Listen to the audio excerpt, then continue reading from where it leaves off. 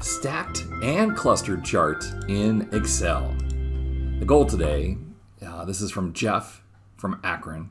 Jeff has uh, two things that have to be stacked on the left hand side. So Series 1A and Series 1B, and then compare that to Series 2. So this is a stacked chart for these two items and a clustered chart for that item. Now this video goes back to a 2009 uh, version of this video with, wow, it's one of my top 15 videos, but things are much easier starting in Excel 2013. So there's less steps. I decided to update the video. But before we go too far, my video is for, hey, we have to stack these two next to a cluster. Leila has a completely different video on stacked and clustered where for each column, like this column is 2000 and a subset of it is 500. Check out that video using the card, the link in the top right hand corner of this video right now. And then there's another version of Cluster Stack from Jon Peltier where every column is a stack. I'll put that link down in the YouTube description below. Now in this video, I'm gonna do the set of steps twice. If you have four quarters or six items across the bottom, you have to do the longer set of steps, just kind of a weird bug in Excel. If you happen to have seven or more items across the bottom, for example, 12 months, uh, then skip ahead to the slightly easier 20 steps. No matter which set of steps you use, it's an intimidating amount of steps. Most people don't realize that YouTube has a secret pause button. You just have to hover over where the pause button is hidden and you can pause. If you're working along, make liberal use of that pause button. Also, down in the description, I'm going to have both set of steps the 23 steps for quarters and the 20 steps for months. All right, let's dive in. We have our Series 1A and 1B. Those need to be stacked. Series 2 is just clustered. Uh, the first thing we have to do is insert two blank series before Series 2 and just fill those with zeros. The next thing to do, after Series 2, add two more series called Line 1 and Line 2. The formula here is the max of all of the numbers, and then this formula just copies that number down. All right, so now we have only four columns here or five or six items that we want to have across the bottom. Uh, slightly longer set of steps. We're going to select the data on the Insert tab. So open the column chart and choose Stacked. See, and the problem here, because there are only four quarters, they default to having the quarters in the legend, and we need to switch that. On Chart Design, choose Switch Row Column. All right, step five, change chart type. Choose Combo Charts, and I like to resize this so I can see all of the series at once. The secondary axis column, we're going to choose blank 1, blank 2, the series 2, and line 1. We need these first two items to stack. So as soon as I choose the first one to a stacked column chart, it automatically changes the second one. Blank 1 and blank 2 are clustered column. Change series 2 to a clustered column. Now, step 11 is to make sure that line 1 and line 2 are line charts, and in my case, they already are. So we click OK. Now, you might be wondering why we put in blank 1 and blank 2. If you didn't have those, our third series would be covering up Series 1A and Series 1B.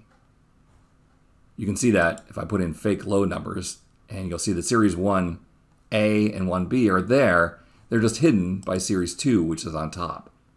So by having blank 1 and blank 2, it pushes Series 2 over a bit. Let me show you what would happen if we had some low numbers in there. I'll just fill with 120.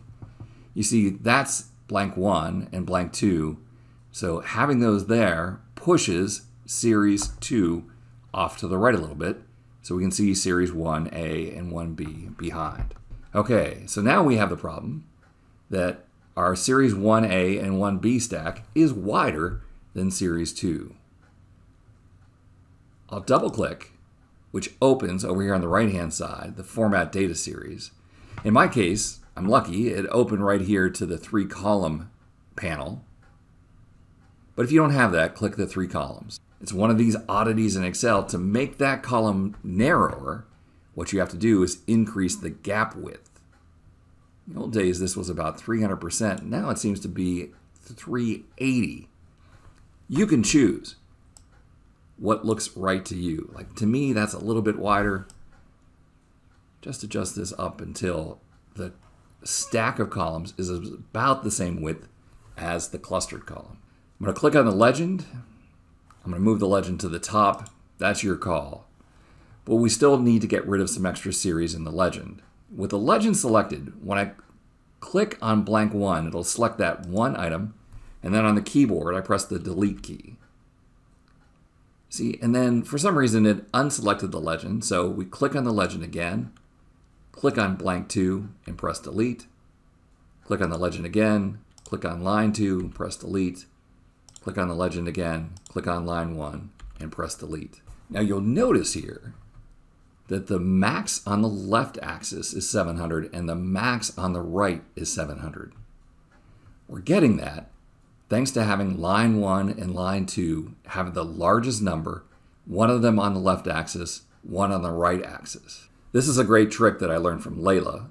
And if you didn't use the two line series, you'll end up with the left axis going to 400, the right axis going to 700, and the scale will be completely wrong. Way back in 2009, the 30 step process, all of these were just trying to fix the scale issue. So thanks to Leila for her awesome idea of putting line 1 and line 2 in here. Because it's a single point, it doesn't even show up in the chart. It's brilliant. The last thing to do is people will wonder why you have the numbers 0 to 700 on the left and on the right.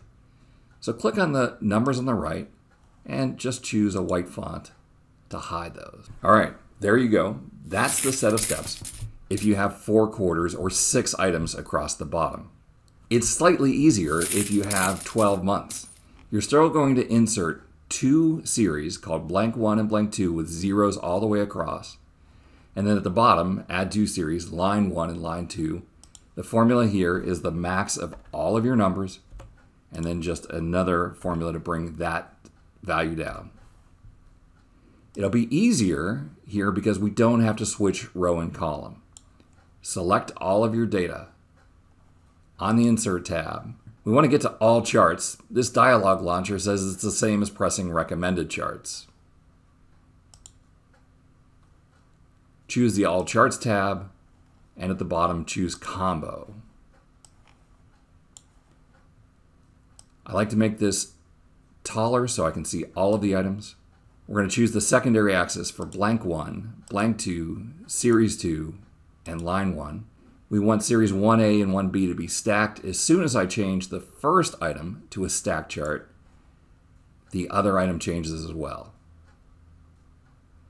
Blank 1 and blank 2 are already correct at clustered column. I need to change series 2 to clustered column. Line 1 and line 2 are already correct as a line chart. Step 9, click OK. We'll double click the left column. Over here on the right hand side, click the three column charts. It's called series options and increase the gap width to about 380%. We'll click on the legend, move that to the top, with the legend selected, click on blank 1 and press the delete key. That unselects the legend for some reason. Click on the legend again, click on blank 2, click on the legend again, click on line 2, click on the legend again, click on line 1. You'll see that the left and right axis both go to a max of 1000. That's thanks to Leila's great trick here of using line 1 and line 2 it's a single point, so the line doesn't even get drawn, but it forces these axes to have the same max. Last step here, choose the right axis, home, and a white font. Okay, there you go. Uh, 20 steps, much shorter than the 30 steps back in 2009. Thanks to the Excel team for introducing that new combo chart, which makes this a little bit easier. All right, well, hey, thanks to Jeff from Akron for sending that question in. Thanks to Leila for the awesome tip on how to make the left and right axis have the same scale. Thanks to the Excel team for improving things in Excel 2013 and giving us the combo chart. And finally, thanks to you for stopping by.